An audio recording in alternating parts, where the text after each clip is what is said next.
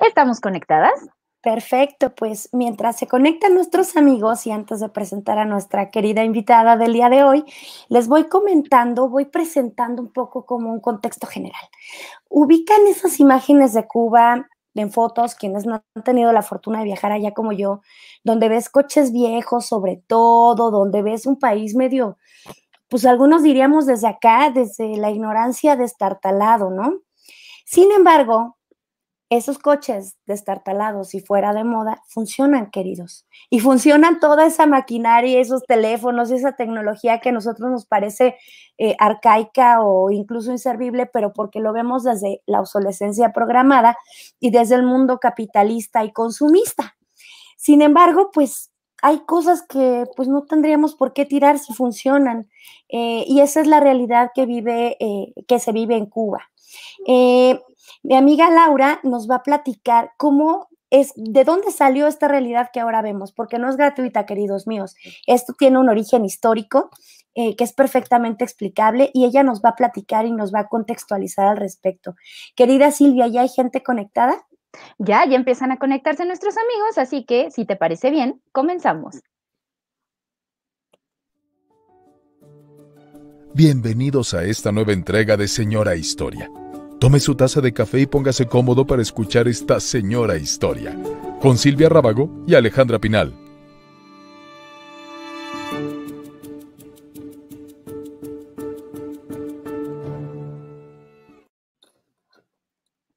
Hola amigos, nosotras somos Alejandra Pinal y Silvia Rábago y estamos en Señora Historia. El día de hoy tenemos una invitada muy especial que es la maestra Laura Roque Valero. Paso a presentarla para que conozcan un poco más de ella. Es graduada de periodismo en la Universidad Central Marta Abreu de Las Villas. Tiene una maestría en estudios históricos y de antropología sociocultural cubana de la Universidad Carlos Rafael Rodríguez de Cienfuegos y actualmente cursa el doctorado en historia de Iberoamérica de la Universidad de Guadalajara. Es becaria de Claxo, CONACIT y de la Fundación Heinrich Boel. Ha publicado artículos sobre la prensa en Cuba y un capítulo en el libro Sangre, Sudor y Prensa.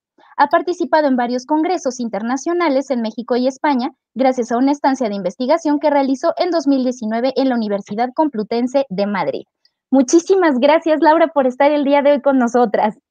Gracias a ustedes por la invitación y la oportunidad de compartir un poquito sobre, sobre Cuba.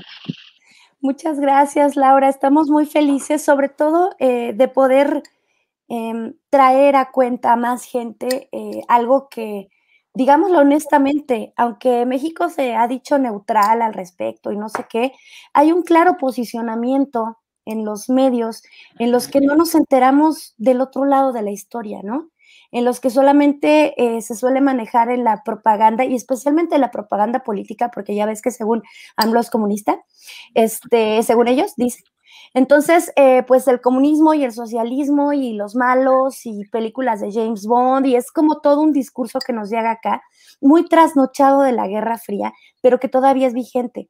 Entonces, yo quiero agradecerte eh, por acceder eh, a contarnos, quiero agradecerte por compartir lo que conoces como profesional y también en tu experiencia como cubana, para que nos, para que nos platiques y para que nos comentes y para que nos informes y nos hagas ver cómo es del otro lado, ¿no? Que lo que está pasando no es gratuito.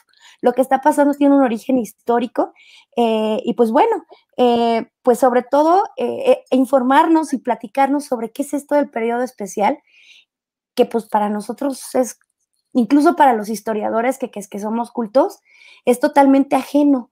No sabemos qué es, entonces está bien bueno que nos platiques qué es eso, qué relaciones tiene el periodo especial por eh, con el presente y especialmente de dónde salió, qué es esto, eh, cuál es su contexto histórico, cómo surgió. ¿Nos platicas? Sí, el periodo especial es como, como una historia muy marcada en, en la vida de los cubanos, de, de hoy y de, de, todos los que tienen memoria. Eh, porque cuando cayó la, la Unión Soviética, y en los inicios de la década del 90 en Cuba vino una crisis que afectó todos los ámbitos de la vida del cubano.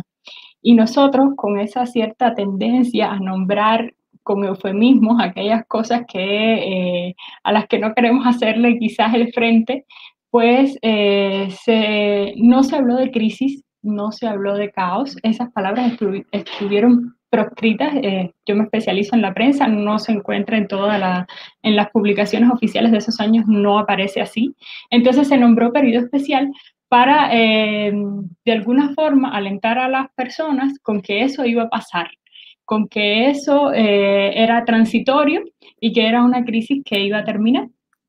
Y como se usó periodo especial, se usó también, por ejemplo, desmerengamiento para hablar de que eh, la URSS, en lugar de caerse, se desvanecía como un merengue y no que verdaderamente aquello había colapsado la, la vida de, de, Cuba, porque Cuba tenía más del 80% de su comercio exterior con la URSS y de pronto eso mm, se perdió. Y cuando digo comercio exterior, digo todo. Es decir, de, la URSS llegaba a Cuba eh, los jabones, los detergentes, eh, el papel y el cartón, la manteca, todo, todo venía en barcos y bueno, el petróleo. Cuba lo que hacía era cambiar eh, el azúcar que producía por, por, petróleo a la URSS y con eso se mantenía. E incluso la URSS llegó a permitirle a Cuba eh, reexportar el excedente del petróleo. Y entonces, pues, al quedarse sin, sin nada de eso, aunque Cuba también, por supuesto, surtía a la URSS del níquel que, que se necesitaba, pero al, al, al, quebrarse ese tipo de relaciones, pues Cuba se queda desamparada eh, en, en lo que algunos periodistas que he entrevistado para la tesis llaman la opción cero, es decir, cero comida, cero combustible, cero transporte, cero. E-, era como regresar a una etapa donde no había prácticamente nada y eso obligó al cubano a reinventarse. Básicamente yo diría que ese es el periodo especial. Es eh, quienes lo han definido desde el punto de vista académico, hablan de eh, una etapa de guerra en tiempo de paz, porque no caían bombas, pero estabas viviendo como en un conflicto bélico donde tienes que subsistir con el mínimo. Y eso es de alguna manera lo que hemos aprendido los cubanos con, con los años y la experiencia del periodo especial. Yo era muy pequeña, pero sí tengo eh, como algunas memorias, ¿no? De ver a, a mi mamá y a mi papá comer arroz y rábano. Nada más. Ese era el menú del día. Y, así eh, de otros muchos inventos que pudiéramos hablar quizás más adelante. Muchas gracias, Laura. Pues sí, yo creo creo que es importante para quienes nos están viendo contextualizar esto. Esta crisis tan dura, en donde la gente terminó comiendo arroz y rábanos, no es pues porque, porque es una crisis de ningún lado, que pues no más, no más es porque se cayó la Unión Soviética. Estamos hablando pues del, del final de la Guerra Fría, ¿no? Y ahí es importante ver a, a Cuba como una pieza en un tablero de ajedrez en, medio de la Guerra Fría y lo que implicaba para Estados Unidos y la reacción de Estados Unidos, ¿no? Entonces, no sé si quieras platicarnos o nos vamos Silvia y yo con nuestros recuerdos de historia universal y o te interrumpimos o qué prefieres. Bueno, pues podemos hacerlo todos juntos. Yo, Montessori. Toda la vez. Yo puedo ir comentando y ustedes van contando también si algo tiene que ver con, con la experiencia o con los recuerdos que ustedes tienen de esa etapa. Perfecto, muy bien. Guerra Fría, querida amiga Silvia, ¿quieres echarte algo como latinoamericanista o me lo echo yo? Vas tú primero, yo ahorita meto mi cuchara latinoamericana. bueno, muy bien, metan su cuchara cuando quieran. Saben que esto es para interrumpirnos porque somos amigas. Entonces, a ver, la Guerra Fría. Estamos hablando del periodo que le siguió a la Segunda Guerra Mundial, cuando dos grandes modelos se erigieron como dominantes en el mundo, que se estaban peleando el dominio del mundo. Sí, amigos, querían conquistar al mundo. Y estamos hablando de dos modelos opuestos, un capitalista y pues el comunista o socialista, que pues, ¿no? Eh, se llama Guerra Fría porque nunca se enfrentaron los países que estaban liderando estos modelos, la Unión Soviética y Estados Unidos. No se enfrentaron frontalmente, pero sí se dedicaron a establecer áreas de influencia. Por un lado, eh, la URSS eh, influyó a toda Europa del Este, eh, influyó con su modelo también a China, que China sigue teniendo un modelo mixto, y para horror de Estados Unidos llegó a América. En América desató una serie, bueno, no, ni, el comunismo ni la URSS, el modelo soviético, el modelo comunista, eh, inspiró a muchas personas para querer construirlo en sus países. Y eso desató la intervención estadounidense. Querida amiga Silvia, ¿cómo en qué países fue, fue interviniendo Estados Unidos porque decía que, no que se iba a convertir en comunistas? Amigos míos, si ustedes recuerdan eh, aquel programa que hicimos sobre el Plan Cóndor, ustedes recordarán eh, cuál es el papel de Estados Unidos dentro de las dictaduras latinoamericanas y su papel, por ejemplo, en países como Chile, como Argentina, en su momento tal vez Brasil, Uruguay, etcétera, etcétera, etcétera, etcétera. Y tenemos el caso especial de Cuba, que es la piedra en el zapato de los Estados Unidos, porque es el único país con una revolución victoriosa, digamos, que se le salió de las manos y que no tuvo eh, este nivel de influencia que llegó a tener en el Cono Sur. Y entonces tenemos que, para horror de los estadounidenses y los capitalistas, ese, ¿cómo, cómo decían Marx, y Engels? Un fantasma recorre el mundo, el fantasma, del comunismo. Pues ya lo tenían en la punta de la entrada. Estamos hablando de que pues Cuba está a tres pasos de Florida, ¿no? O sea, ya respirándole en la, en la nuca a los gringos y eso los paniqueó mucho. Y entonces su presión iba sobre Cuba. O sea, y además hay una historia de Estados Unidos sobre Cuba, que de esa yo creo que nos puedes hablar más, eh, Laura, porque yo no me la sé. O sea, sé que Estados Unidos estuvo casi que tratando a Cuba como una colonia después de su independencia de España. Eh, eh, no sé si quieran puntualizar por ahí. Sí, de hecho, Cuba fue, y, así se enseña en la historia en Cuba, neocolonia de Estados Unidos, donde, a ver, es, algo como muy quizás asombroso, en Cuba hoy no existen, como quizás existen en el mundo entero, ni McDonald's, ni Burger King, ni KFC, ni nada de eso. Y sin embargo, en todos esos años de neocolonia, eh, Estados Unidos tenía toda la, total potestad sobre Cuba. Eh, había todo tipo de, intercambio comercial y además eran unos presidentes que eh, nosotros estudiamos en la historia como gobiernos títeres que salían quizás de Cuba pero que respondían a los intereses de Estados Unidos. Y estuvo así hasta 1959, que es cuando triunfa la Revolución Cubana. Eh, bueno, ya saben, por la vía de las armas. No fue tampoco una negociación pacífica. No, claro que no. Y ahí está el Che Guevara, que es como figura emblemática, y está Fidel Castro. Y bueno, ahí nos estamos inventando, nos estamos saltando toda una historia, queridos amigos. para llegar hasta los noventas. La revolución cubana fue en los 50, en el, ¿cuándo fue? El, el primero de enero de 1959 triunfa y en 1961 declara Fidel o proclama Fidel el carácter socialista de la revolución. Bien, de los 60 nos estamos saltando hasta los 90. En ese lapso pasaron muchas cosas, como la crisis de los misiles y cosas muy interesantes, ¿verdad? Eh, pero bueno, nos estamos saltando muchos años de historia cubana eh, y en este interim, pues podemos decir que lo que sucedió con Cuba es que pues estos países, así como había una red y una red de apoyo entre países capitalistas, también había una red de países eh, comunistas.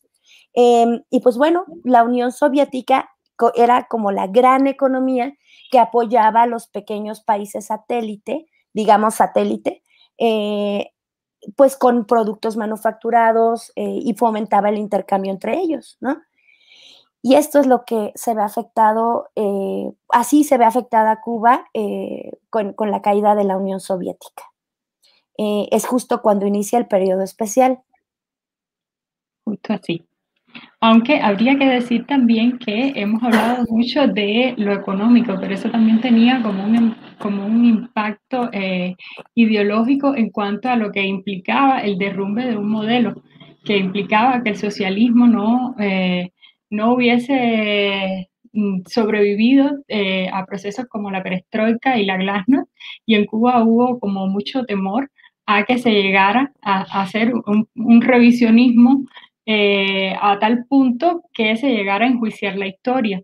Y entonces eh, se trató por todos los medios de justificar que el socialismo no era eh, el problema, sino como la mala aplicación o la mala em, instrumentación, por decirlo de alguna forma, del modelo. Entonces, en eso, em, Cuba se enfrenta, como hablábamos también de las relaciones con Estados Unidos, Cuba está en un proceso en el que tiene que sobrevivir económica, pero también ideológicamente.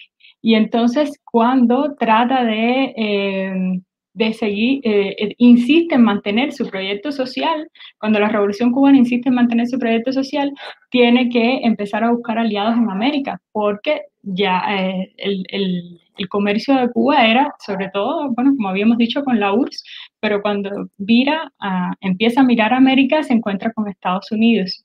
Y hay ahí un, un problema, bueno, por todos es conocido el bloqueo económico, eh, financiero y comercial. Haz, como que no, explícanos. Sí, voy a explicar. Voy a explicar así como muy grandes rasgos que el bloqueo eh, ya de por sí es un término problemático. Unos dicen que es bloqueo, otros dicen que es embargo, em, pero que el embargo no es como, la, como el nombre adecuado porque em, no incluye a los terceros países que también están afectados por este, por este posicionamiento de Estados Unidos. El bloqueo tiene que eh, boicotear prácticamente las relaciones de Cuba con los países capitalistas y, por ejemplo, mm, en esos años de periodo especial eh, se implantó la ley Torricelli y la ley Helms-Burton, y que tenían que ver, por ejemplo, eh, la Torricelli específicamente, eh, los barcos que tocaban suelo cubano con fines comerciales no podían tocar suelo norteamericano en 180 días. Entonces, mm, se prohibió la utilización del dólar americano en las transacciones eh, internacionales, es decir, eh, eh, consistía en una serie de medidas que impedían que Cuba desarrollara su comercio. Y eso tenía un impacto en todos los, en todos los ámbitos de la economía, ¿no? Porque eso impedía la llegada de alimentos, impedía la llegada de insumos para la salud.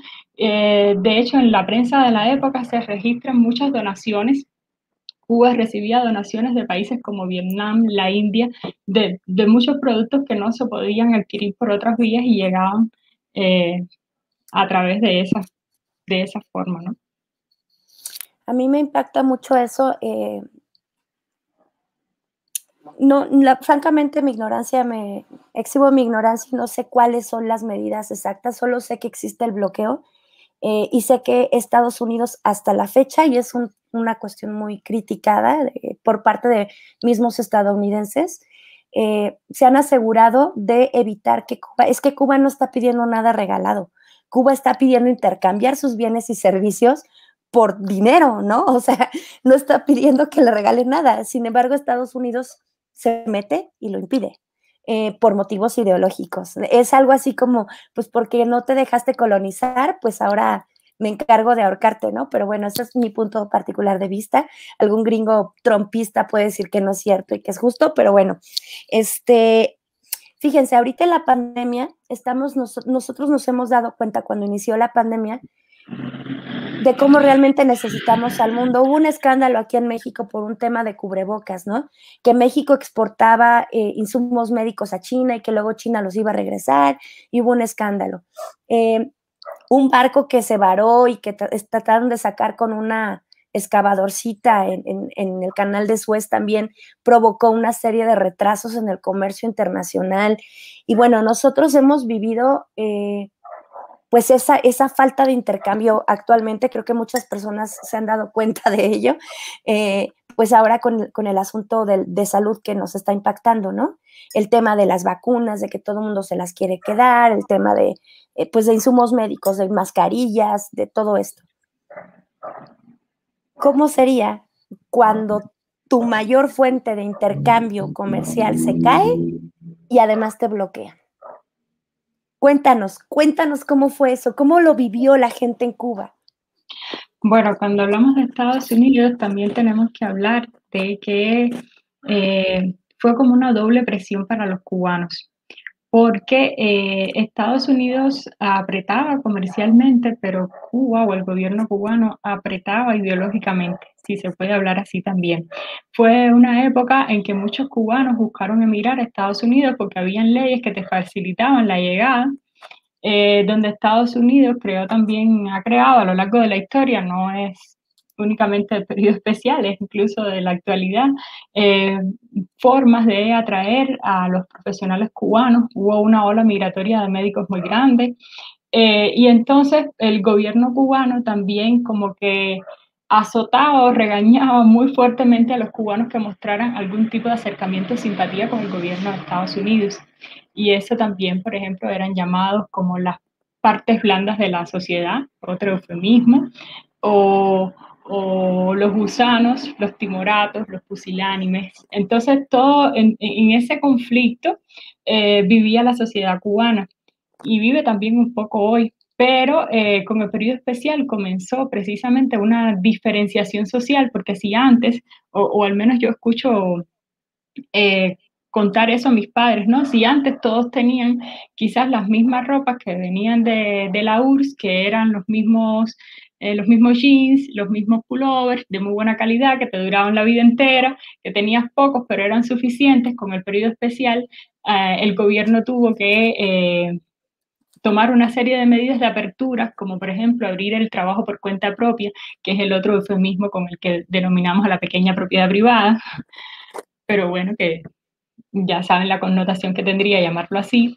eh, se despenalizó la tenencia de divisas. En Cuba había personas en el momento del periodo especial que habían sufrido prisión por haber tenido dólares en su poder, ya sea porque se lo hubiese regalado a un familiar, porque hubiese salido de viaje, incluso deportistas que, que perdieron su carrera porque trajeron de algún viaje dólares americanos. En ese momento se despenalizó y se abrieron incluso tiendas de dólares americanos pero calculemos que en una de las fuentes que yo he revisado, el dólar americano estaba en 150 pesos por moneda nacional y un cubano cobraba, qué sé yo, quizás 300, 400, cuanto más 500 pesos cubanos mensuales. Si lo llevabas a dólares, lo que tú cobrabas era de 2 a 3 dólares. ¿Qué ibas a comprar en esas tiendas que recién se habían abierto? Prácticamente nada.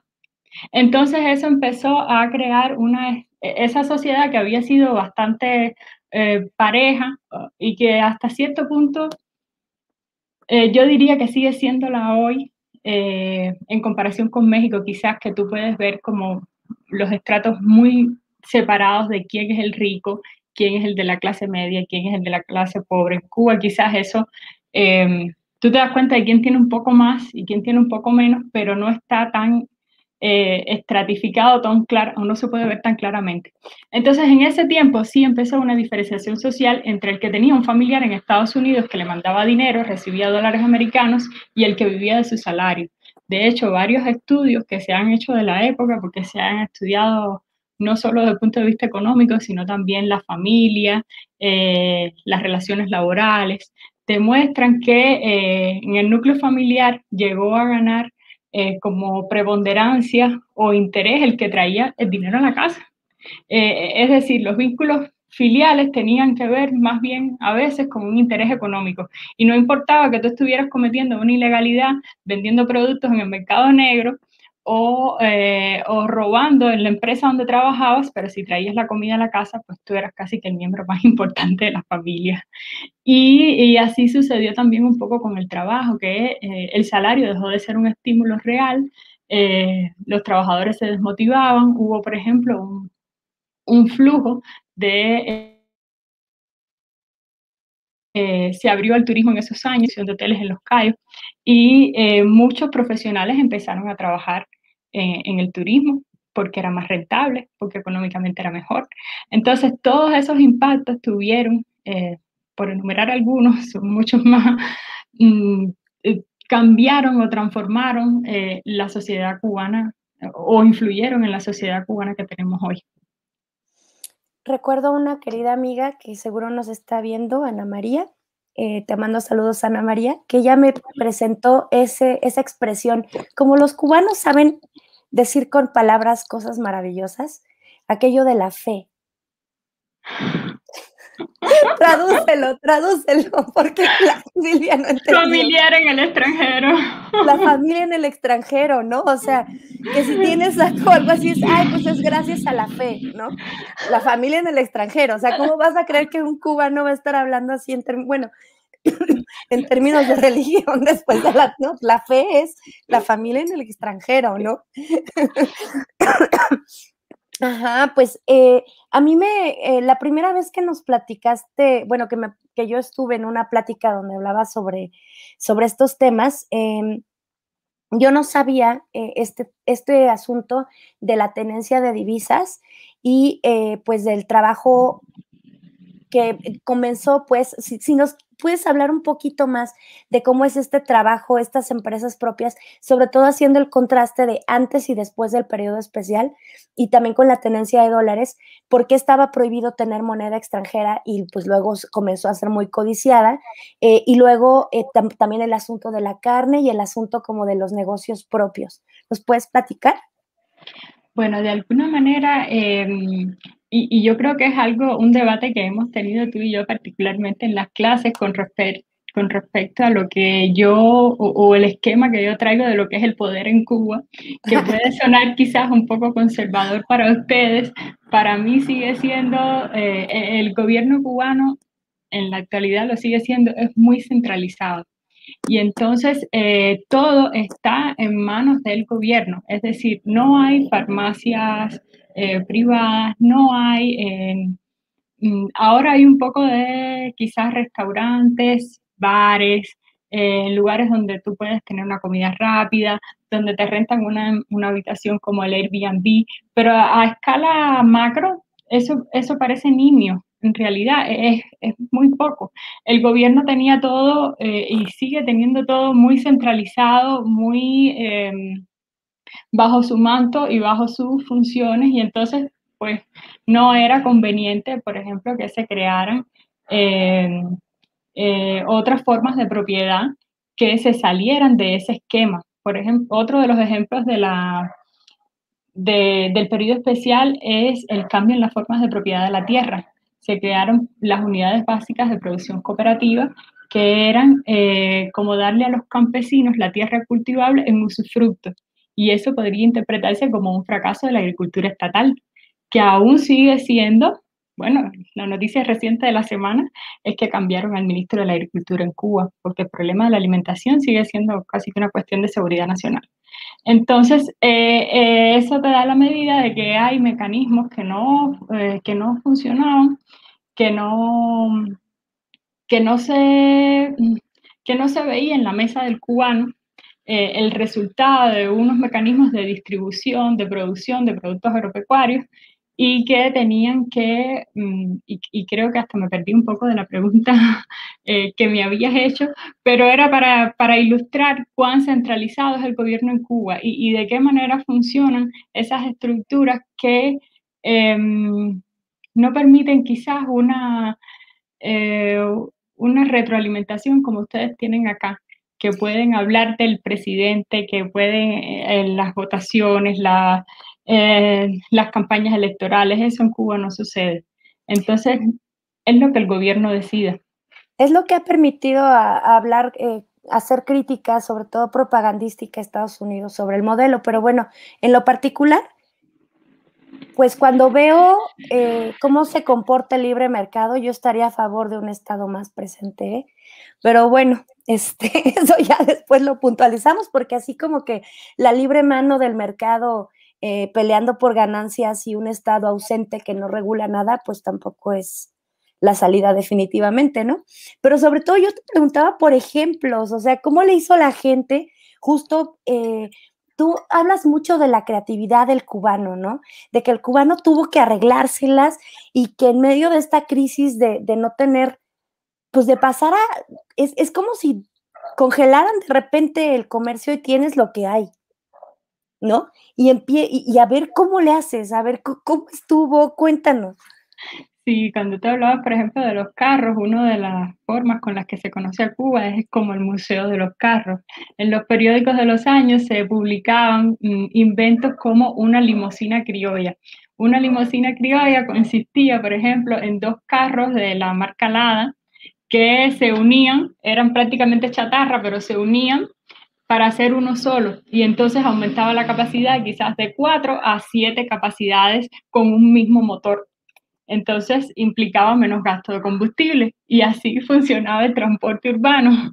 Eh, otro invento, por ejemplo, la prensa se dedicaba a divulgar ejemplos de cómo construir un farol, porque habían, como no había combustible, Em, lo que habían era alumbrones en lugar de apagones, es decir, tú te podías pasar 15, 16 horas sin corriente, sin electricidad en tu casa, entonces te orientaban en la prensa de forma muy educativa, que eso tampoco se puede negar, cómo tú tenías que construir un farol para tú alumbrarte en tu casa durante esas noches, o cómo construir un moñito, que, que para ustedes sería chonguito, puede ser cuando te recoges el pelo o algo así, para poner en el refrigerador eh, y que funcionaba como un disipador de calor y eso te ayudaba a ahorrar corriente, a ahorrar electricidad en la casa. Así un montón de inventos de los que la prensa se hizo, por ejemplo, con el jugo del enequén, tratar de hacer eh, detergente para fregar.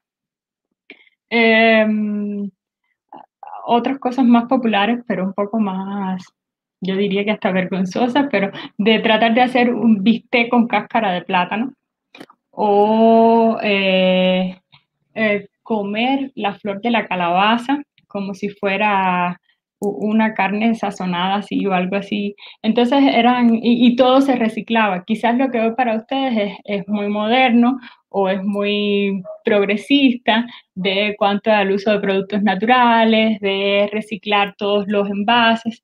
Pues en Cuba eso era oro molido. En Cuba no se bota una bolsa de... Eh, del mercado o no se bota un envase de que tú compras una mayonesa. Eso se guarda, se lava y se reutiliza en casa.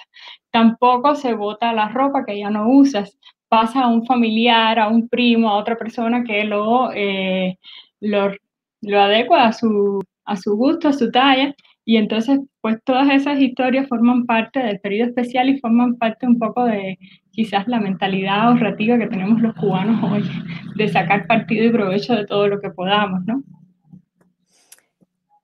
Lo, lo decimos como curioso. Eh, por aquí me están diciendo, o una pizza echarle un confín para que diera queso. ¿Qué es un confín? Tradúcenos, por favor. Ya empezaron, ya empezaron. Y espérate, porque ya tenemos muchos comentarios. Ahorita los En un momentito más pasamos los comentarios. Los condones. Era triste. Los condones. Porque no había queso, no había lácteos, no había. De hecho, uno de los problemas por los que. Pero sí habían condones. O sea, el espíritu del cubano, discúlpame, amiga, tengo que interrumpirte para hacer. O sea. Sí, eso sí tengo que decir que en Cuba es mejor que aquí. Son mucho más baratos. Lo que pasa es que ahora también están en crisis, como casi todo está en crisis con la pandemia, pero es mucho más barato y mucho más accesible por aquello de la educación sexual y eso sí tengo que defender a Cuba en ese sentido. Y entonces echaban condones en el queso para que el látex se No, no, no, no. Era la, el queso, no había queso eran los condones los que funcionaban como queso. Y por supuesto era timar a la gente, porque ¿quién iba a comerse eso? Después que tú te das cuenta, pero ya habías pagado la pizza. Entonces tenías que ir con tu pizza. tu pizza anticonceptiva. El cual. Es que o sea, lo tomamos mucho a guasa porque, bueno, no sé, nos estamos riendo. Tú dijiste eh, cosas de vergüenza, ¿no? Dijiste sobre eh, el, el, ahorita lo del condón, por ejemplo, que ni idea, yo sí que es un confín, este, o lo de, eh, pues, el bistec, ¿no? Que en realidad era plátano, o alguna vez por ahí oí del café, que era algo quemado, no recuerdo qué con chícharos, mezclado, ah. mezclado con chícharos. Entonces ya el cubano a veces si toma café normal, café puro, lo siento muy raro porque te acostumbras a tomarlo con chícharos. Y, y de hecho las dosis de chícharo han ido subiendo con los años y a veces tú no sabes si estás tomando café o chícharo tostado. Mira, eh, y lo que quiero resaltar es que nos estamos riendo porque lo estamos tomando a guasa. O sea, estamos eh, tratando de hacer pues... Eh, pues de reír, de, ¿qué te queda? ¿Llorar o reír? Lo más ameno posible, ¿no? Pero el hecho de que nos estemos riendo juntas no quiere decir que esto no sea grave, ¿eh? O sea, ojo, y señalamos desde el principio de dónde viene la gravedad, de un bloqueo. sí, entonces nada más es lo que quiero subrayar. Hay gente, bueno, ahorita tú me platicarás si, si el cubano lo sufre, este, o, o, cómo, o sea, si esto es un sufrimiento, ahorita esto que estamos tomando a WhatsApp, porque pues desde fuera cualquiera podría decir, no, qué sufrimiento, no sé, porque también eso es relativo, ¿sabes? Porque también llevan años eh, viviendo, haciendo sus arreglos a las cosas, este, y tú me dirás hasta dónde es un sufrimiento y hasta dónde si llama la atención como parte de este movimiento de que, oye, Estados Unidos, ¿qué onda, no? Bueno, mira, eso es, yo podría dar como una valoración controversial de eso, porque hay quien dice que el periodo especial fue quizás como un éxito porque Cuba logró superarlo y el gobierno nunca se cayó y el proyecto social nunca terminó, pero eso tuvo un costo en la población, tuvo un costo em, donde la gente, yo creo que sobrevivió más por ideología y por convicción que por... Em, eh, que, que, por cualquier otra cosa, ¿no? Por ejemplo, e, el año 93, que es particularmente en el que yo estudio, fue el año en que se convirtió en, en epidemia una enfermedad que fue nueva en Cuba, la neuropatía. Nadie sabía qué era lo que pasaba, afectaba el sistema nervioso, afectaba la visión. Inicialmente pensaron que era eh, relacionado con el alcoholismo. Eh, Cuba llegó incluso a pedir ayuda a la ONU y finalmente descubrieron que era un déficit de vitamina que tenían los cubanos, que era por un déficit de un problema de alimentación. Y empezaron a repartir vitaminas gratis para todo el mundo, para toda la población. Pero eso tiene, te estoy explicando que eso tenía un costo eh, para la salud de la gente. quizás la, la revolución no se cayó porque en los periódicos se enfocó sobre todo, no se hablaba de crisis, sino se hablaba de que vamos a salir adelante, todos los mensajes eran en función del triunfo, del éxito, de que esto es circunstancial, de que vamos a producir más azúcar y la vamos a vender y vamos a, inventar, bueno, de todos los inventos que, que, eh, y alternativas que se buscaron y vamos a crear bancos de problemas para, lo que, para que los innovadores eh, y racionalizadores resuelvan y, cómo vamos a ahorrar combustibles en las cocinas, en fin. Pero hasta hoy yo creo que ya eh, ahora mismo Cuba está en un punto en el que no resiste más y la, y la pandemia ha venido a agudizar eso, porque eh, incluso yo creo que te lo mencionaba, hay quien dice que el periodo especial no terminó del todo. De hecho, en el 2019 tuvimos algo así que se llamó coyuntura, porque yo me imagino que llamar periodo especial es demasiado doloroso para la memoria del cubano, aunque ahora mismo quizás no se va la electricidad como antes, pero sí hay muchos problemas con la alimentación, hay muchos problemas con los medicamentos, y eso tiene un costo en la salud y tiene un costo eh, en tu percepción de la vida, ¿no? Porque ya también los cubanos salen más al exterior, tienen más criterios de comparación, han visto otros productos que no se venden en Cuba, pero que la gente los lleva como como la Nutella, por ejemplo, que en Cuba no se vende y la gente la lleva de, México a Cuba, eh, así. Entonces, eh, yo creo que sí, y, ya te decía, yo he visto, por ejemplo, documentales de jóvenes realizadores mm, sobre el periodo especial, donde las madres te empiezan riéndose de un cuento, de, algo que le sucedía con los hijos, como que, por ejemplo, eh, se estilaba hacer colecciones tú tenías como libros, los niños de mi época, de estuches, es decir, de los caramelos, de los jabones, de esas cosas que tú no veías casi nunca. Entonces los niños los, coleccionaban en libros y los estuches los guardaban como recuerdos para enseñárselo a los otros niños. Mira este caramelo, mira este jabón, porque jabón no había, el jabón se hacía de potasa o de grasa de pescado. Entonces las madres en esos documentales comenzaban riéndose y terminaban llorando porque es muy difícil tú no tener que llevarle a tu hijo a la mesa cuando llega la hora de la comida. De hecho, fueron las mujeres, y ahí sí tiene también eh, una cuota de sacrificio de género que también se ha estudiado, las que pagaron más caro eh, el periodo especial, porque hubo un aumento de la domesticación, el, trabajo doméstico creció y, la mujer pasó mucho más también. Y, eso tiene eh, tiene un costo que, que a lo mejor no lo vamos a ver ahora mismo, eh, pero sí, sí va a tener repercusión en el pasado, en el futuro, en lo que va a suceder, pues obviamente eso va, va a influir porque está ahí como una herida. Claro, y el bloqueo sigue. También. Yo tengo una pregunta. Eh, de lo que he leído, eh, de lo que has trabajado, que trabajas con esta cuestión de análisis del discurso y sobre todo de la prensa. Eh, ¿Qué pasa con la prensa en esa época? Porque eh, hay un punto en el que comentas incluso que también tienen que reducir el número de, números que publican, el papel y demás. ¿Qué pasa con la, con, la prensa, con el discurso y físicamente con, la distribución de, de papel del periódico? Sí, eh, bueno, como les comentaba, uno de, de los productos que la URSS enviaba a Cuba eran papeles y cartones. Eh, de hecho, eh, llegó a un punto en que no había prácticamente ni tinta para imprimir los periódicos. Em, por ejemplo, parte de los periódicos que yo estudio, que antes del periodo especial se editaban diario, con el periodo especial se quedaron en semanarios.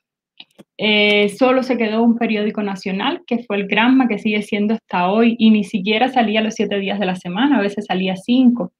Em, la televisión se redujo, bueno, yo sé que quizás a ustedes les pueda resultar eh, también como, como una risa, en Cuba solo habían dos canales, Tele Rebelde y Cubavisión, nada más, y se, redució al mínimo, se redujo al mínimo, disculpen, porque eh, la televisión es más cara también, ¿no? Y entonces lo que más explotó fue la radio, porque la radio te daba otras posibilidades de, de inmediatez de, y, y, a un menor costo. Pero, pero los periódicos, bueno, prácticamente no, hay, no hubo publicaciones periódicas en Cuba y bueno, también como es característico de la, de la, época, sin internet y sin nada, pues solo circulaba la prensa oficial, solo estaba la versión oficial. Y eso también de alguna forma tiene que ver con la manera en que los cubanos mm, se informaron en cuanto a la época y la idea de, país y la idea de, eh, eh, de las circunstancias históricas que estaban viviendo. Tú tenías unas imágenes, no sé si nos las quieras enseñar sobre la prensa en los años del periodo especial. Ah, déjame ver si logro mm, compartir pantalla. Ahí en Share. Porque lo que yo quería enseñarles era, para dar como una pequeña introducción, son caricaturas que aparecieron en el periódico Gramma en el año 1993, que tenían que ver con la manera, eh, a veces un poco jocosa, en que se llamaba a los cubanos a marchar, en este caso particular, el primero de mayo, mm, el Día Internacional de los Trabajadores, en contra del bloqueo, para pronunciarse en contra del bloqueo norteamericano. Entonces voy a buscar eh, unas caricaturas que tenía por aquí, déjame ver. Sí, sí sé. ¿Es en la parte de abajo? Sí, pero entonces me dice pantalla completa, ¿será? Creo que sí. Sí. Es, ajá, es que a Ale le aparecen diferentes los comandos que a mí. Ah, ya. Voy entonces allá a ver cómo sale. Ustedes me dirán. Eh, se ve infinito. Ahí ya nos está. Ahí está. Ahí está. Ahí está. sí. Aquí ven, eh, siempre se representa a Cuba como un caimán yo sí tengo el primero de mayo. Eh, oiga, mister, bote su engendro ahora, eh, antes de que cierren el basurero. Eh, cómo se representa Estados Unidos. Tengo el primero de mayo para ponchar el bloqueo. Era como una manera, ya ven, bastante particular de enfrentamiento. Este otro, también, bueno, la ley de Ricelli, que era una de las que le, les comentaba. Y este tipo de, caricaturas pues salían en la prensa nacional para convertir quizás, eh, bueno, es que yo creo que en Cuba casi todo se politiza y entonces pues parte de la celebración o de los incentivos para marchar, de hecho, em, las marchas por primero de mayo en Cuba son bastante famosas porque son multitudinarias y entonces pues esto se publicaba días previos a, a la celebración. A mí lo que me sorprende es cómo se retrata como ese caimán pícaro, o sea, como pícaro, ¿no? Así como, sí, o sea, Estados Unidos sí un gigante tieso, así como queriendo, y el cocodrilo, el caimán pícaro acá saliéndose con la suya, ¿no? Tú me aplastas, pero yo puedo. Tú me aplastas, pero yo salgo. Y yo, aunque sea el bonche, pero algo le saco a esto. Amiga Silvia, ¿qué hay comentarios? Tenemos un montón de comentarios. Igual, si quieren seguir este, haciendo sus preguntas y comentarios en lo que vamos leyendo, todavía están en buen momento, amigos. Así que pasemos con los comentarios. Blanca Estela Rodríguez nos dice, hola, buena noche. Buenas noches, muchas gracias por estar con nosotras como cada emisión. Rodrigo Sánchez, muchos saludos a Laura. Gracias, igualmente. Nos dice Rafael Rodríguez Mosqueda, buenas noches, muy interesante la plática. Hola Rafa, muchas gracias por estar el día de hoy con nosotras. Nos dice, Estados Unidos justifica ese inhumano bloqueo comercial a Cuba diciendo que es castigo por el despojo de bienes estadounidenses a manos de los revolucionarios. Sin embargo, ¿cuáles eran esos bienes? ¿Recursos naturales cubanos o infraestructura?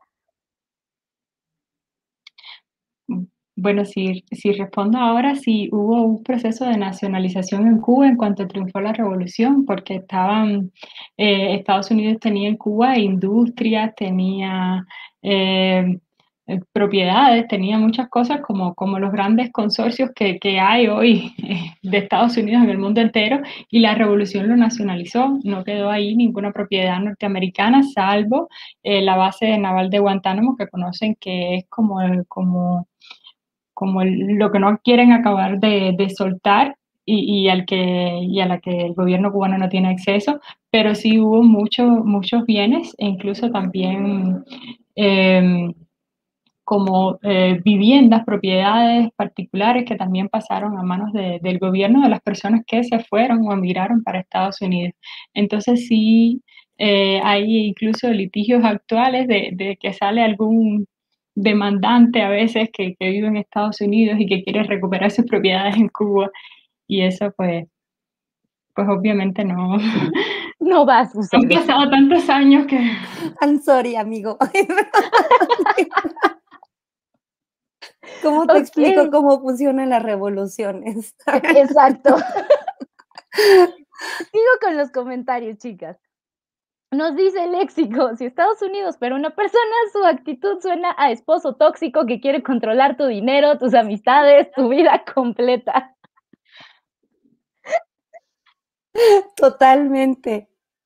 Totalmente, nos dice Ibisami Rodríguez Pairol. Saludos, querida Laura Roque. Buen tema para reflexionar, sobre todo este fin de semana. Gracias a Ivy. Podemos un día hacer un eh, como un dúo también de cubanos. Ivy también está estudiando em, en el doctorado y entonces pues también tiene investigaciones interesantes sobre Cuba que, que pudieran ser útiles también a señora Historia. Muchas Ustedes vengan, el espacio es suyo, muchas gracias. Nos dice también eh, sería bueno que nos comentaras cómo en las fuentes de la época que has consultado, sobre todo en la prensa oficial, se manifestaba la crisis económica, se aplacaba o se tocaban los puntos álgidos que vivía la población, que un poco ya nos lo has platicado, no sé si quieras agregar más sobre el tema. Sí, de alguna manera, como les mencionaba, la prensa estuvo sobre todo centrada en transmitir aliento a la población, en divulgar las alternativas y muchas veces yo mm, como que he notado que a inicios de año se hablaba, por ejemplo, de un plan, eh, este, este, año vamos a llegar a producir no sé cuántos millones de, de determinado producto y cuando llegaba al final de año, pues eso prácticamente no se mencionaba porque era imposible, porque no se podía llegar a producir eso. Entonces la prensa jugaba como un papel de, ¿cómo diría yo?, de, mitigadora o de aplacadora de, la crisis para eh, mm, hacer eh, creer que era un periodo, un de tránsito que iba a pasar, que se iba a acabar y que lo que teníamos era que buscar la manera de eh, las soluciones para enfrentar lo actual. De hecho, eh, muchos dicen que la respuesta del gobierno cubano a la crisis fue hasta cierto punto más enfocada en la defensa nacional, en lo militar, que eh, como un plan estructurado económica y socialmente orientado a, la crisis, a, resolver el problema de la crisis. Ok. Continuamos con las preguntas. Nos dice el léxico, a ver, pasen la receta del bistec de cáscara de plátano. Me interesó, nunca se sabe cuándo se puede utilizar.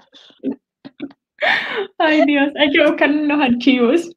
De hecho, hay un libro, hay, eh, bueno, el, como el enlace que después pudiéramos compartir del trabajo que salió sobre los inventos. Hay un libro que trató de rescatar como todos los inventos y todo lo que la gente hizo para resolver el problema de la comida y que hay infinidad de historias más allá de la cáscara de plátano.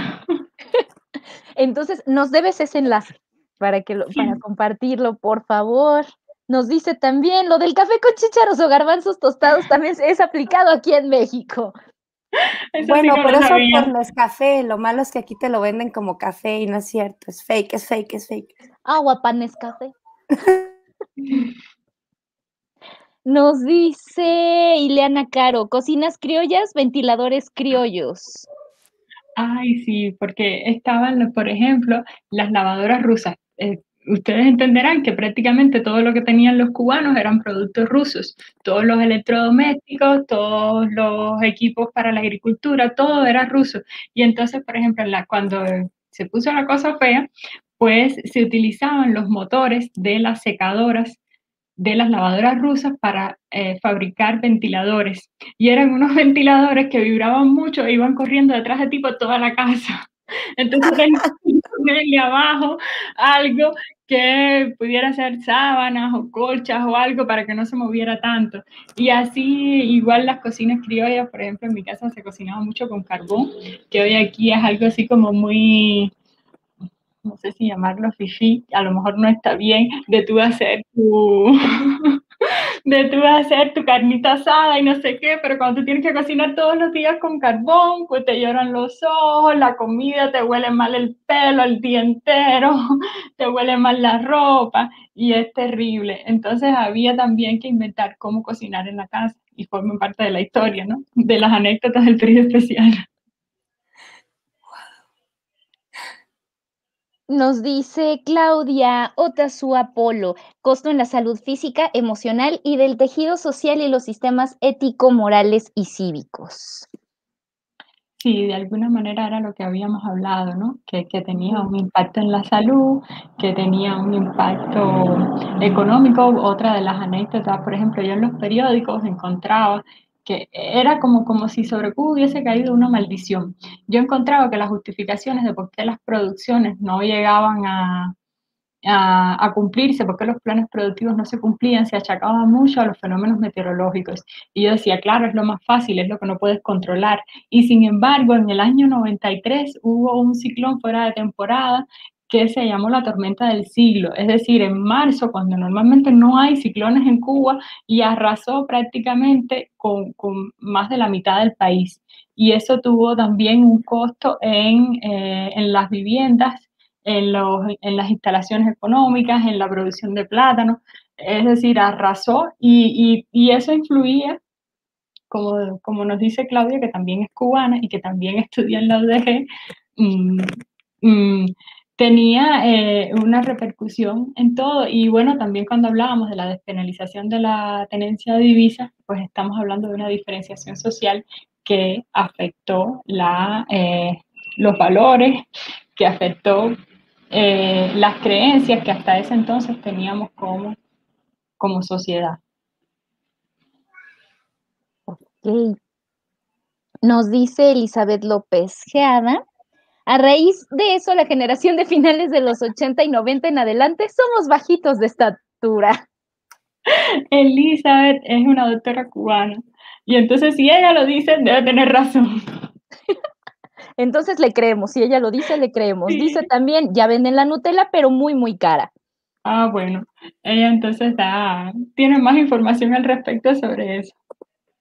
Y nos dice otra vez, Ibisami, es un buen material. Cuban de Cameraman.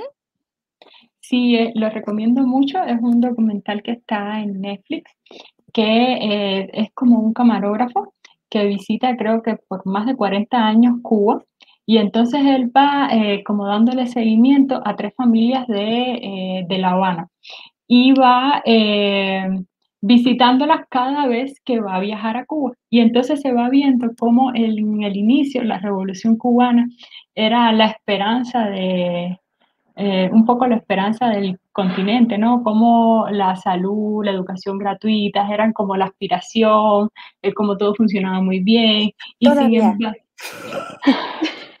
Sí, pero ya no funcionan tan bien quizás como, como los cubanos quisieran, ¿no? Y como eso, y entonces él va retratando a través de las historias de esas familias la degradación que sufre la sociedad cubana. Y eh, de, de, venir cada año, y por ejemplo, esta familia la madre migró a Estados Unidos. Eh, al otro año volvió y ya la familia completa se había ido. o los viejitos que trabajaban en el campo, de, que eran prósperos, que producían, que vivían de su ganado, de sus cultivos, y de pronto encontrarlos debajo de un árbol, uno casi llorando, porque con el periodo especial les robaron la vaca, se le acabaron los productos, ya no podía producir. Entonces eh, está interesante el documental porque va mostrando a través de historias, de microhistorias, cómo eh, el proyecto de la Revolución Cubana fue, ha tenido esos altos y bajos que han, que han marcado la historia del país. Híjole, yo no, yo lo, yo sigo mirando al mismo punto. Yo no diría si es el proyecto de la Revolución Cubana. O sea, yo diría que ahí hay un zapatote exterior que sabemos cuál es, ¿no? Y hay una necedad que más bien es la que sigue marcando este asunto. Y pues, hablando de la soberanía de los pueblos, pues no tendrían por qué ceder y por qué dar su brazo a torcer ante la presión externa, ¿no? Sería algo que el pueblo cubano debería de determinar. También hay como opiniones encontradas en cuanto a eso desde dentro de Cuba. Se habla del bloqueo pero también el cubano dice, bueno, ya también lo que tenemos es como un bloqueo mental. Llevamos tantos años achacándole al bloqueo que todo esto es problema del bloqueo y que no acabamos de buscar la alternativa para resolverlos nosotros mismos. Y entonces, ¿qué tenemos? Como un bloqueo mental que nos impide buscar eh, eh, las iniciativas que nos ayuden a salir de esto eh, yo hasta cierto punto cuando salí de Cuba eh, creía que te lo repiten tanto en todos los medios de comunicación que tú dices, ya, a, veces te parece que te están hablando de un fantasma. Y sin embargo aquí en México como cubana sí me he dado cuenta que el bloqueo existe. Yo llego, por ejemplo, a Ban Regio con mis dólares americanos que cambié en el aeropuerto de Cuba antes de venir y no los puedo cambiar porque tengo pasaporte cubano o voy al Banco Azteca, a la Western Union a recoger un dinero que mi tío me envía y no los puedo cobrar con un pasaporte cubano. Entonces tú dices, pues sí existe. Si eres cubano tienes un costo o, tienes determinadas limitaciones en las que no puedes eh, moverte como harían quizás ustedes los mexicanos, ¿no? Sí existe y sí está. Claro. Continuamos, chicas, con los comentarios. Nos dice también Elizabeth, los sellos de las marcas de las camisas se le ponían en los huecos de los tenis. Sí, una de las historias de, los periodistas que, que yo mm, entrevisté me decía, bueno, yo tenía que ir, tenía un solo par de zapatos, los tenis tenían huecos y entonces eh, cuando Elizabeth dice los sellos son como las etiquetas de las de, de, la ropa se cosían en los huecos de los tenis y aquello quedaba como muy cool o muy qué sé yo, pero era una manera de ocultar. Ella incluso se ríe mucho porque cuando yo vine de Cuba en octubre, eh, mi mamá me hizo muchos cubrebocas porque supuestamente en México no había un cubrebocas y yo tenía que venir con cubrebocas. Y los cubrebocas estaban hechos con tirantes de ajustador. De Brasil. Y ella, que tiene un novio mexicano, fue para allá y se presentó ante toda la familia con su cubrebocas de Brasil. Y fue toda una sensación. Es que hay que utilizarlo todo, aunque tengamos que reírnos ¿no? de esas carencias. Ok, continuamos. Nos dice Rafael, no tenían mucho que ver en la tele, pero sí mucha música que disfrutar en vivo. La verdad, acá con muchos calandes tampoco, tampoco era como. Exacto. Exactamente. No se perdieron de mucho. No, no se perdieron de mucho.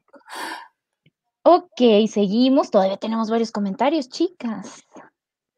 Nos dice también eh, Rafael, con todas esas hectáreas de pesares ilimitantes, pero la Cuba aislada no solo territorialmente está cerca de desarrollar y producir su propia vacuna contra el innombrable en este programa. Por cierto, ¿eh? O sea, por eso cuando decías, no, pues que la salud pública y no sé qué, yo te decía que ya muchos quisieran, baby, porque allá en el imperio, pues si no tienes con qué pagar y aquí también, ¿no? Que estamos fuera del imperio, pues también es un asunto que mucha gente no puede acceder a educación, aunque aquí se supone, bueno, sí, la educación es pública, pero de todas maneras hay mucha gente, por ejemplo, ahorita con este asunto que estamos viviendo, muchos niños quedaron fuera de clases porque no tienen acceso a un dispositivo. Este, y pues bueno, aquí justo se ven como esas diferencias y esas injusticias, eh, que bueno, es otra, esa es otra, otra discusión, ¿no? Otra, otra historia. Esa es otra señora historia, amigos nuestros.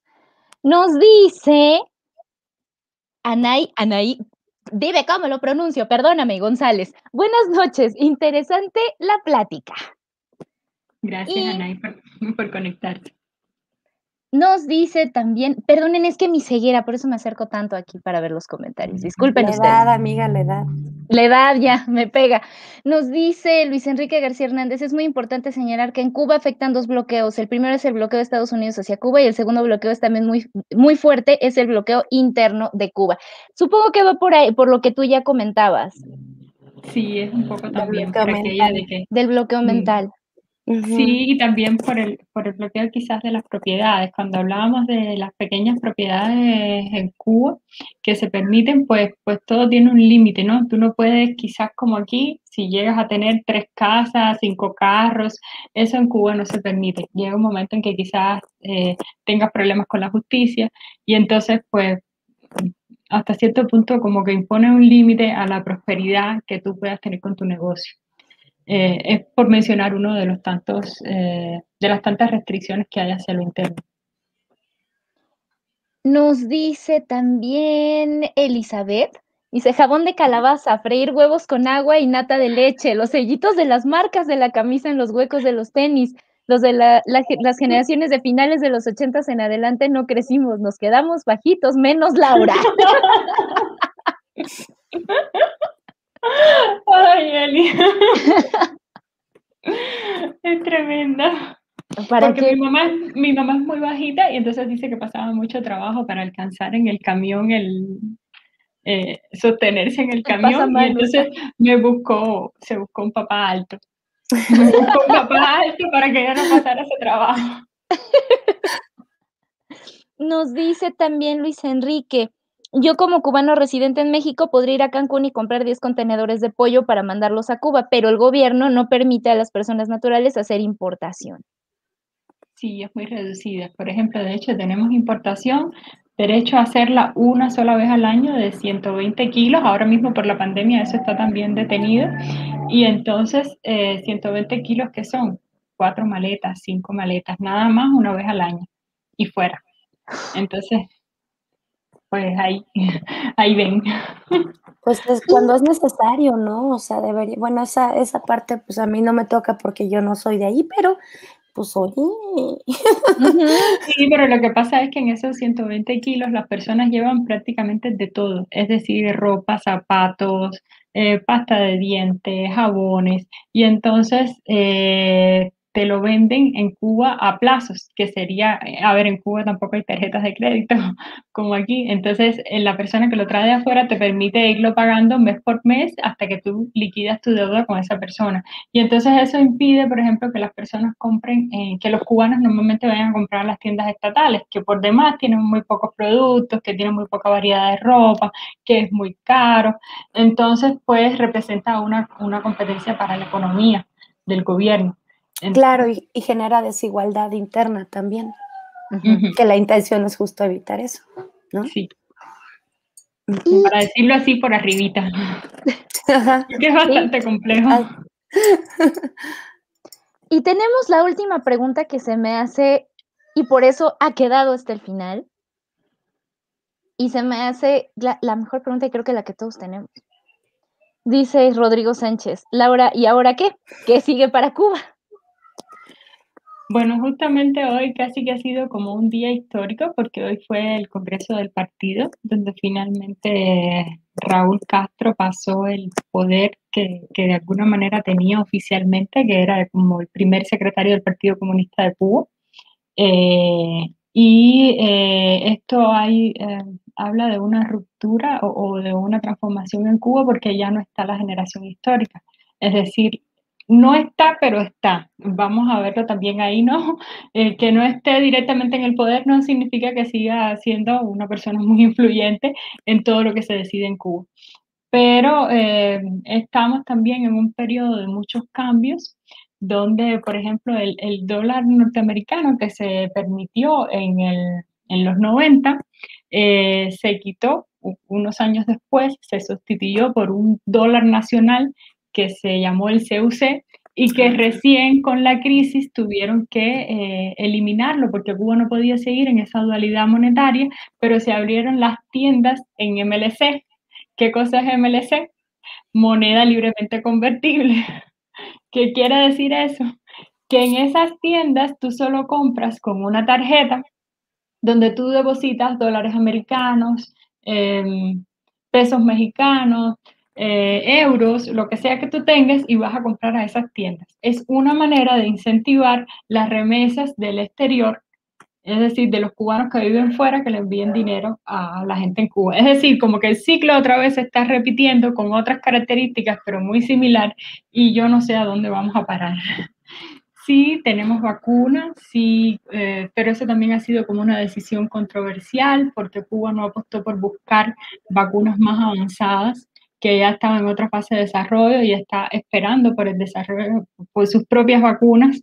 Entonces, no sé, ¿qué va a pasar ahora mismo? No lo sabemos. Estamos también en otro proceso de, transformaciones donde vaticinar algo sería como muy arriesgado, pero eh, siguen, vienen más cambios. Sí, porque además no es solo interno, tenemos también a Biden y tenemos las cosas que están cambiando en la geopolítica mundial, ¿no? O sea, es, complicado. Y la pandemia yo creo que desequilibró muchas cosas. Sí, y con Trump fue también desastroso para Cuba. Para el mundo. ¿Qué vamos a esperar? Hay que ver cuando pase un poco la pandemia que, que viene. Muy bien. Yo cuando estuve googleando fotos para el cartel del periodo especial me encontré unas muy largas filas de personas en su bicicleta. Ya luego nos explicarás qué, soy, qué es eso, cuéntanos ahorita. Bueno, pues la bicicleta es el medio de transporte nacional en Cuba y lo fue aún más en el periodo especial. De hecho, repartían bicicletas para que la gente fuera y virara al trabajo en bicicleta, porque como no había combustible, además adquirir un carro en Cuba es muy costoso, no todo el mundo tiene un auto. Entonces, y la mayoría de los autos que hay son de empresas o son de eh, de instituciones del gobierno para las que tú trabajas, lo usas mientras trabajas en ese puesto y después lo tienes que devolver. Entonces, pues, ¿cuál es el amigo más fiel? la amiga más fiel es la bicicleta. Entonces, sí, se usa mucho, se usa mucho la bicicleta en Cuba. Oye, pues lo que decías al principio, que lo que aquí parece, la, la cosa vegana, la cosa hipster, la cosa por la que aquí la gente paga más dinero, su jabón artesanal, este, su comida vegana, que no tiene sufrimiento ni animal ni nada, este, todo eso por lo que la gente paga mucho, pues los cubanos lo vienen haciendo hace tiempo. Y tiene que ver con una lógica, pues no solo de la carencia, que podemos hablar, es serio, hubo carencia, hubo sufrimiento, hubo consecuencias que no vamos a negar, pero que estamos tomando por el lado amable, por el lado de la creatividad de una sociedad que pues se las arregló pese al, a lo que hubiera del gobierno y los bloqueos, externos y todo el problema. La gente, pues como ese caimán en la caricatura, pues se terminó saliendo con la suya, este, y pues bueno, con muchas, con muchas cosas que ahora eh, el cubano promedio se reiría cuando alguien salga con sus cosas, su carne gluten free, eh, eh, hecha en realidad de, cáscara de plátano, ¿no? Este, amiga, ¿tienes alguna otra pregunta? Guiño, guiño a la Roma Condesa en Ciudad de México. Este, hay tres comentarios más. Ay, Dios. Nos dice Lizzy Subit, soy cubana estudiante de posgrado acá y justo me sucedió lo que mencionaba Laurita cuando hablaba del bloqueo. En el Banco Azteca no me cambiaron los dólares por ser cubana. Y nos dice también Elizabeth, pero seguiremos bailando, gozando y riéndonos. Eso sí se queda. Por último, nos dice Laura, y tradúcenos qué dice, por favor. La java de nylon, la java que les, que les decía, la java es la bolsa que ya aquí no dan, pero que en Cuba se reutiliza. De hecho, casi ya no hay tampoco. Es decir, en Cuba se usan mucho también las bolsas de tela para ir al mercado, para ir, que, que para ustedes quizás es uh, ¿cómo lo digo? Es em, como un atentado al medio ambiente, que a ver, en Cuba también lo es, por supuesto, pero por ejemplo, la, la, bolsa de nylon, tú la usas, la lavas, la cuelgas en el patio y la vuelves a usar, la vuelves a lavar y la cuelgas, mi mamá las lavaba, es como parte de, de los rituales domésticos, porque no se botan, no se tiran, hay que, hay que utilizarlo todo. Es que es real, fuera del mundo consumista es real, es lo que deberíamos de hacer. Exactamente. Son todos los comentarios, chicas, que tenemos por ahora y les informo que llevamos una hora diez de transmisión porque en Señora Historia no tenemos llenadera. Y menos con esta invitadaza que nos viene a contar cosas que nos parecen tan ajenas desde acá. No sé, eh, para mí ha sido todo un descubrimiento. Además, Laura es muy simpática, es muy amable, siempre eh, accede a todo y pues bueno, casi ella lleva, lleva investigando su, para su tesis asuntos de, de, la prensa en este periodo y casi no le preguntamos sobre su especialidad, casi todo le preguntamos sobre cómo se vivió y cómo se, cómo se las arregló el cubano para vivir tras la, especial. Pero eso es un enorme pretexto para volverla a invitar y que nos hable exclusivamente de la prensa. es lo que tú no sabías, es plan con Maya. para comprometerte en público, como lo hacemos a casi todos nuestros invitados, para que regresen con nosotras. No hay problema, yo vuelvo con gusto porque la he pasado muy bien, lo he disfrutado mucho y aunque a veces resulta muy difícil hablar de Cuba y ya le lo saben, a veces me resulta muy difícil en las clases explicar cómo funcionan, por ejemplo, el sistema de medios de comunicación, cómo funcionan las políticas editoriales, porque porque son construcciones o, estructuras que están en otro universo paralelo con respecto al mundo actual, pero eh, siempre se disfruta la experiencia de, ponerte a prueba, ¿no? ¿Cómo explicas eso? Y bueno, también agradecer a, todos los amigos cubanos que están aquí en Guadalajara y que y se han atrevido a compartir sus experiencias, que por supuesto hace mucho más rico cualquier debate, cualquier cosa que yo pueda decir. Ha sido un verdadero gusto tenerte el día de hoy con nosotras. Tener a la comunidad participando con nosotras también ha sido, creo que, de los, de los programas más sabrosos que hemos tenido. Y es en, que cuando pase, pase, la pandemia les voy a pedir que me lleven a bailar unas de Omar por fondo. Entonces, con unos buenos rones. Cuenta con eso, que ya somos un foco, como decimos en Cuba, en el Botanero 21. Porque cuando nos vamos todos a bailar, nadie está bailando y ya nosotros estamos de pie. Digo, un día nos van a sacar de aquí por, por ruidosos, por... Son increíbles yo me apunto, yo me apunto, a mí llévenme, yo pago mi avión y me voy para allá. Ay, amiga. Bien, amiga, pues despidamos. Despidamos, pues nuevamente darle las gracias a Laura por haber estado el día de hoy. Qué maravilla de programa hemos tenido este día. Gracias a nuestros amigos que nos han visto también, que, que nos han aguantado esta hora, casi cuarto de transmisión de este viernes, de este hermoso viernes. Así que paso rapidísimo a los avisos parroquiales, que son muy sencillos, únicamente es recordarles amigos nuestras redes sociales. Recuerden que tenemos Instagram donde nos encuentran como arroba Senora porque Instagram no tiene ñ. En Facebook y en YouTube nos encuentran como Señora Historia. Les recordamos también que tanto en Facebook como en Instagram les informamos cada semana sobre nuestro tema y horario de la siguiente transmisión. Eh, creo que sería todo. Bueno, recordarles nada más que tenemos otra sección que se llama Miércoles de Foro. Si tienen algún proyecto que nos quieran enviar, nos lo, pueden mandar al correo senorahistoria.gmail.com porque tampoco hay ñ en los correos electrónicos. Muy bien, pues creo que sería todo. Muchas gracias, Laura. Gracias por compartirnos eh, y esperamos tenerte pronto de nuevo por aquí. Ya ves que Víctor vino dos veces porque programón y bueno, pues lo claro. siento. Tienes chispa, querida, tienes tema, tienes sangre ligera y pues nos ha encantado, lo hemos disfrutado mucho. Muchas gracias a ustedes, gracias a ustedes por la oportunidad. Pues amiga, entonces no nos queda más que despedirnos, no sin antes recordarles que la historia no es pasado, está pasando. Nos vemos en nuestra siguiente emisión. Gracias por acompañarnos. Síguenos e interactúa con nosotros en Facebook y en YouTube. Queremos escucharte. Los esperamos la próxima semana en la siguiente entrega de Señora Historia. Hasta pronto.